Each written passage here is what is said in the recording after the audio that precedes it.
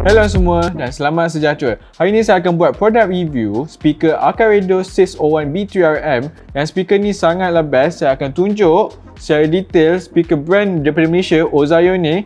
Uh, apa dia punya features dia, apa dia punya review, macam mana sound dia, sound test dan juga saya akan tunjuk tutorial macam mana nak pakai dia punya every single inputs yang dia ada. Okay? Jom tengok. Okay guys, sebelum kita unbox speaker ni, kalau you guys tengok sign ni, Japanese sign, dia bermaksud Akaredo. So Akaredo ini bermaksud merah ataupun red.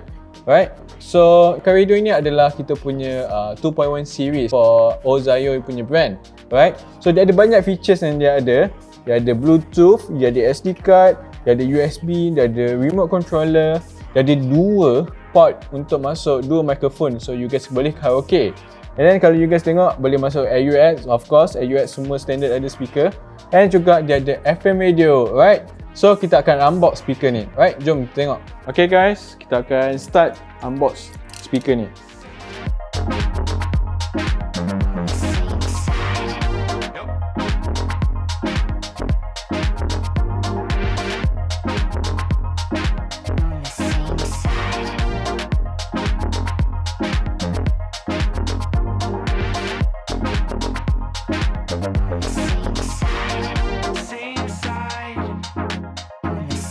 Alright, so kalau you guys tengok speaker ni, dia punya design um, nampak garang dan juga nampak premium. Kalau you guys tengok ada speaker ni ada grill, right? Kat sini grill. Kalau dia punya kat bahagian depan, dia punya subwoofer ni, you guys boleh tengok dia glossy.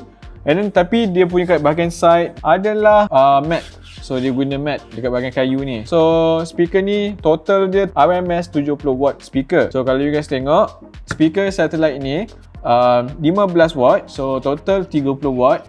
Tapi for subwoofer saja 40 watt. And kalau you guys pakai dekat atas meja pasang atas meja make sure you guys pakai meja yang kukuh kalau nak play full volume. Sebab dia boleh bergegarkan rumah dan juga dia boleh gegarkan juga you guys meja. So barang-barangan yang fragile ataupun yang longgar boleh bergegar And then sometimes ada barang-barang yang kecil uh, Mula dan melompat-lompat yang bunyi tak seronok. So kita tengok eh. Speaker ni uh, 15 watt dan dia punya 3 inch. Dekat subwoofer Kalau you guys tengok kat bawah ni Nanti saya akan on uh, Dia actually ada 6.5 inch speaker. Untuk subwoofer saja 40 watt. So dia sangatlah powerful right Okay, so kita tunjuk sikit dimension speaker ni. Dia adalah 32 cm. Tinggi dia semua 32 cm. Untuk subwoofer, dia punya lebar dia, lebar dia 20 cm. Yang ni satellite, lebar dia 12 cm. Tapi yang ni, dalam dia untuk subwoofer, ke belakang dia 32 cm. So speaker ni actually agak besar eh. So kalau you guys nak tengok uh, beza ketinggian dia, dimension dia sesuai tak untuk you guys punya meja ataupun ruang tamu. Alright guys, sebelum saya nak tunjuk macam mana nak set up speaker ni, right? So, speaker ni kalau kat depan, you guys boleh tengok ada volume knob and then dia ada button untuk play dekat tengah atas ni. And then ada previous, next. Lepas tu untuk macam nak tukar lagu ke apa. And then dekat bawah ni dia ada input dan juga EQ, okay? EQ equalizer, input nak tukar input apa yang you guys pakai. And then dekat sini, kalau you guys first time dapat je speaker, tak ada bass, tak ada apa, macam sound dia sangat mellow, naikkan semua bass dan juga treble, alright? Dan bawah ni adalah untuk microphone punya level dan juga echo. So kalau you guys tengok dekat bawah ni ada dua input. So dia macam ni contoh dia. So ni 6.3mm microphone input, right? Boleh masuk macam tu saja. Okay? So you guys boleh control volume dan juga echo dekat sini. So kita akan go on untuk kat belakang dia pula. So dekat belakang ni uh, simple saja dia ada kabel antena, right? So ada descriptions uh, details pasal speaker ni. And then dekat sini ada input untuk masuk AUX punya kabel. Ada output untuk keluarkan dekat speaker satellite ini. Okay nak attach sekejap lagi saya akan tunjuk setup dia. Lepas tu dia ada kabel untuk power cable dan juga boleh on off dekat sini. Senang saja. Alright, kita akan go on macam mana nak set speaker ni. Alright. Okay guys, saya akan tunjuk macam mana nak set up speaker ni. So sebelum kita power up ni speaker, alright, kita set dulu dia punya satellite speaker. So satellite speaker dia, you guys boleh set ikut orientation macam mana you guys nak. Tapi, dia punya kabel usually warna merah dan putih. Tapi kita punya kabel dua-dua warna kuning. Kenapa? Sebab kita nak easykan uh, pengguna, kita orientation macam mana pun, kita terbalikkan pun, So you guys tak perlu nak match warna putih dan warna merah which is dia punya left and right, alright? So kalau kita nak connect speaker ni dengan kabel uh, warna kuning ni, kalau speaker ni duduk dekat bahagian kanan ataupun bahagian right, through you guys punya rotation, you guys boleh masuk dekat warna merah. Merah adalah untuk warna right ataupun belah kanan. Dan putih pula untuk speaker yang belah kiri, okay? Dan juga left boleh masuk dekat warna putih. So putih untuk uh, left dan juga kiri, okay? So you guys dah boleh set speaker ni untuk powerkan dia. Bila kita dah powerkan plug kabel dia, boleh on dekat belakang ni. Kalau tak nyala lagi boleh on. Okay, speaker ni dah nyala. So dah ada tunjuk display dekat sini. And uh, ada lampu warna biru kat depan ni dekat volume knob and then ada lampu lagi dekat subwoofer. So kalau you guys nak play lagu ke apa, first kalau tak ada sound, naikkan dulu volume dekat sini. And then you guys boleh uh, set volume you guys guna daripada remote controller. For you guys rasa macam uh, oh bass tak ada lah, apa jadi kat bass? Treble, sound mandi. First thing first, semua speaker yang kita uh, you guys baru beli dia akan set the lowest volume untuk treble dengan bass. So naikkan treble, naikkan bass. Alright. So that's the simplest way macam mana nak set punya speaker. Okay, so sekarang ni kita akan tunjuk macam mana nak set input AUX dulu. Alright. Okay, sekarang kita akan tunjuk macam mana nak set input AUX dulu ataupun auxiliary input. Alright. So dekat speaker ni, dekat bahagian belakang, alright. So you guys akan dapat cable free. So daripada RCA warna merah dan warna putih, masukkan RCA ikut warna dia, warna putih dan juga warna merah. Anda akan dapat 3.5mm male jack daripada kotak speaker tetapi tidak semua media devices yang ada 3.5mm jack output ataupun headphone output seperti contoh gambar di belakang televisyen ini. Jika tiada, sila lihat dan cari output lain di belakang TV seperti RCA out. Jika ada, sila beli converter RCA male to 3.5mm female converter seperti dalam gambar ini. Some TV, especially jenis model baru, hanya ada digital out seperti jenis optical ataupun coaxial. Anda perlu beli adapter seperti ini untuk sambung ke 3.5mm jack yang kami berikan. Untuk kes yang jarang berlaku, ada jenis TV hanya ada HDMI out, maka anda perlu beli adapter HDMI audio extractor seperti ini. Okey, seterusnya. Okay guys, so kebanyakan handphone yang jenis baru macam saya smartphone yang jenis model baru, dia dah tak ada lagi headphone jack. So apa you guys boleh buat, boleh cari adapter dia. So handphone saya ni uh, pakai USB Type C dan juga kalau handphone jenis Apple pakai lightning cable. So you guys boleh masuk contoh adapter yang saya beli ni, alright. Adapter ini murah saja dalam RM20 macam tu. Alright, so you guys boleh masuk ke handphone and then juga after that you guys boleh connect ke you guys punya video. Ah, bunyi kan. So you guys boleh terus uh, dengar through cable tapi cari adapter dulu. Okay. So, now kita akan go for Bluetooth pula. Okay guys, sekarang ni untuk Bluetooth input, kalau you guys tengok kat speaker ni, awal-awal lagi kalau dia buka je terus dekat AUX which is auxiliary. So, apa yang you guys boleh buat nak tukar kepada input dia punya Bluetooth, you guys boleh hit input dekat sini ataupun boleh tekan input daripada remote controller. Alright, so contoh saya tekan, alright. So sekarang ni dia akan blinking BT. So bila nak connect, boleh ambil handphone you guys, pergi dekat setting, tekan Bluetooth on ataupun hold dia. Okay, on. And then start search. So sekarang dah jumpa speaker. Tekan, okay, di tengah pairing. And terus connected. Ah, dia terus play music. Okay, kalau dah connected, And then you guys tak play apa-apa, usually dia akan tak tulis uh, BT, dia akan tulis pause. Tapi kalau you guys play lagu ke apa, dia punya sign dah tak ada lagi sign uh, macam BT saja, tak ada blinking lagi, maksudnya dah connected. Tapi juga kalau untuk you guys dah pause ataupun you guys tak play apa-apa lagu, dia akan tulis pause. Okay, pause. Alright. So, kalau you guys nak pakai benda ni kan, nak pilih lagu lain ke apa, dekat remote controller boleh kawal dia punya play pause, boleh kawal dia punya previous ataupun next. ataupun dekat speaker ni sendiri boleh tekan previous dengan next dengan play pause. Alright? Okay guys, kepada yang pakai TV ataupun smart TV yang ada Bluetooth punya mode and you guys connect kepada speaker ni, uh, kadang-kadang dia punya sound dia maybe boleh jadi slightly tak match sangat sebab Bluetooth semuanya ada delay. So kalau macam karaoke ke apa ke, maybe lagi prefer pakai uh, straight pada kabel AUX tapi kalau you guys untuk tengok movie, kalau you guys rasa macam delay tu tak perasan sangat, boleh terus connect dengan Bluetooth punya mode. So kita akan go for features lain pula which is SD card dan juga USB drive. Alright, jom. Alright guys, so sekarang ni saya akan tunjuk features macam mana nak pakai SD card dan juga USB. You guys boleh connect USB drive dan juga SD card, alright? Ah. So dekat dia punya input dia dekat atas ni, alright? So you guys boleh masuk SD card. Senang saja. Ni pakai full size SD card. So Dan usually dia akan terus connect. Dan juga you guys boleh masuk USB kat dalam ni.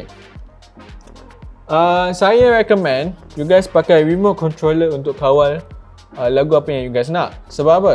Okay, so kalau you guys tengok Dia boleh play Boleh play, pause dan juga boleh uh, previous dan juga next. So untuk remote controller, kalau you guys tengok tadi uh, previous next dengan play pause button, dia punya features sikit saja.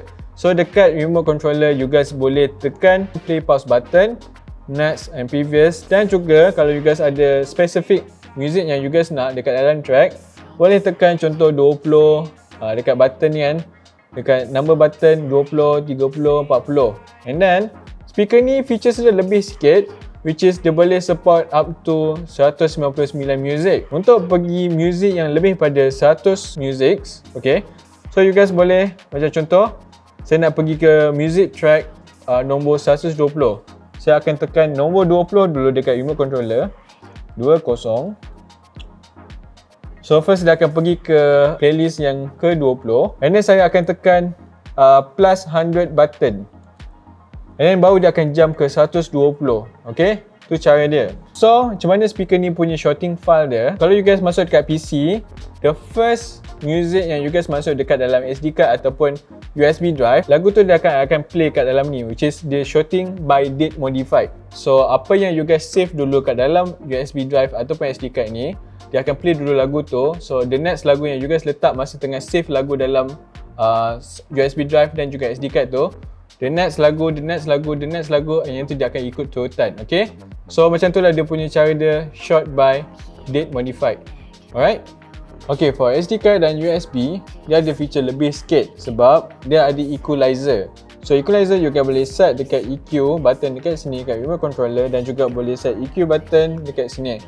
Alright? Dekat speaker ni juga. So kalau you guys, kalau saya play skip music, bila tekan dia ada multiple EQ punya modes. So you guys boleh tengok selection dia.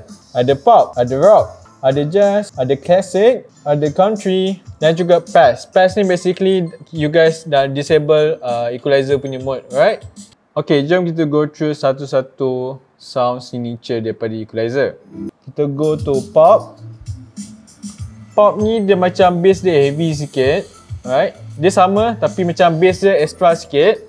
And then rock ni dia punya highs dia maybe untuk vokal kita cari lagu lain untuk vokal. Okay, dia punya vokal dan juga dia punya uh, bahagian highs dia dia lebih sikit. Alright so kalau next kita ada jazz. Jazz ni dia punya bass dia sangat kurang. Dia fokus dekat highs dengan mid tu jazz. So bass dia kurang sikit tapi dia punya vokal ke apa dia lagi more enhance lah. So next classic ni dia macam mellow down everything. Uh, dia dia lebih kepada bass and then highs tu dia macam try to potong sikit. And sound dia dia just sedikit mellow. Maybe untuk klasik, untuk orkestra mungkin lagi sedap sebab dia maybe dia fokus dekat sound more low end ataupun yang sound uh, string ataupun yang macam trumpet tu kan mungkin lagi sedap. Country dia macam balance juga. Uh, dia macam pop juga macam dia tak se-clarity pop. Okay, so and then we stop dekat pass. Okay, so dia tidak disable. Alright. So, for the next one. Okay guys, so sekarang kita akan tunjuk kepada input FM. So, daripada SD card dengan USB tadi, tekan input lagi sekali. Sekarang dia akan go to uh, FM radio. Okay, so FM radio. Sebelum you guys buat apa-apa, kalau you guys nak dengar radio, alright, You guys kat belakang dia ada antena. Halus je antena dia. So antena ni kalau you guys nampak kabel dia halus saja. You guys gantung tinggi-tinggi, okay? Dan juga sound maybe masih tak clear. Kalau you guys dekat dengan grill besi ke, try to lekat dekat dekat besi sebab in certain situation sound dia lagi clear, okay? Tu dia punya tips dia. So, macam mana nak pakai FM radio ni? You guys boleh terus tekan next ke apa radio kan. So next boleh tekan terus. Kalau dia tekan pause dia basically mute. So kalau guys macam you guys nak pakai lebih advance daripada you guys punya cara you guys boleh tekan hold play pause button tu 3 second. So dia akan scan semua channel yang ada. Dia akan scan. So kita tengok dulu scan sampai uh, 20 dia scan jap. Ok kalau you guys dah habis scanning you guys boleh tekan play pause button untuk stop So you guys dah ada macam certain radio stations dalam dia punya scan. You guys boleh go through satu-satu ataupun you guys boleh tekan next ataupun previous ataupun cara yang lagi best adalah tekan button number button. So contoh you guys channel you guys dekat dalam nombor 10 boleh tekan 10 and then dia akan tukar channel ke you guys punya channel. Contoh dekat 10. Okay, next one kita akan tunjuk sound signature dia ataupun sound test. Jom kita tengok.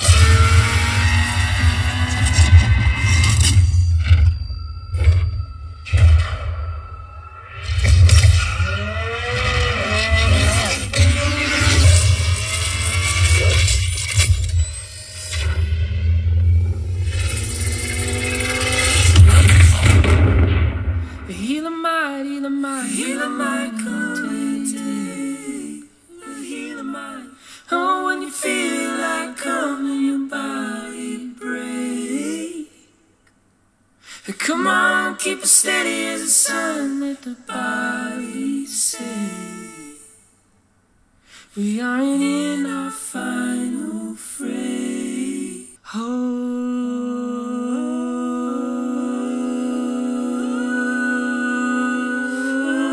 I've been waiting here.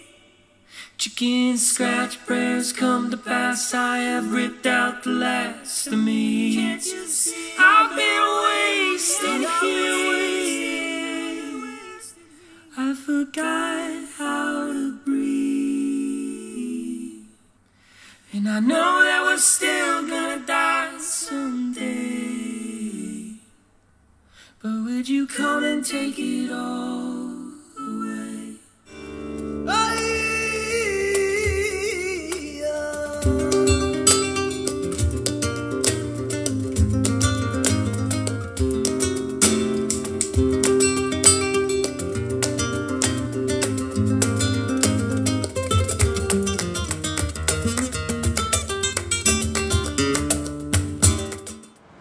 Okay guys, kita dekat last part of the video punya features yang kita nak tunjuk Which is apa? Microphone Dekat speaker ni ada dua input microphone So you guys boleh karaoke dengan family, dengan friends semua Dekat rumah, alright? Dengan speaker ni yang sound sangat powerful Dengan features untuk karaoke lagi Memang padu So kita akan tunjuk dekat sini Speaker ni Dia ada dua input dekat bawah ni, alright?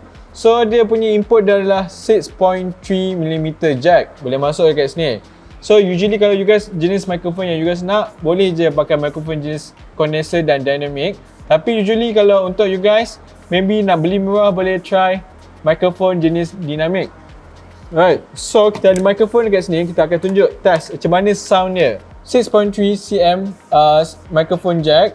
Alright, so you guys boleh masuk. Macam tu saja dah connect.